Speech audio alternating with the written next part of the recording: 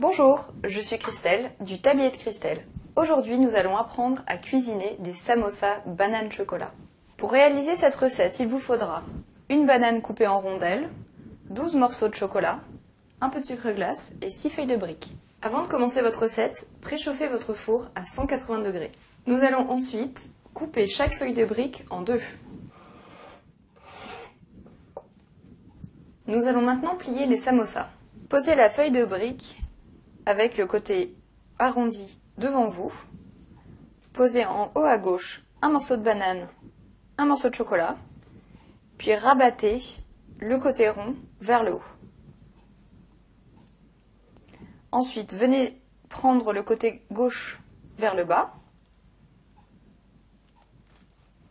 et rabattez le tout vers le haut. Réitérez cette opération une nouvelle fois, encore une fois, puis repliez le samosa. Nous allons maintenant saupoudrer nos samosas de sucre glace.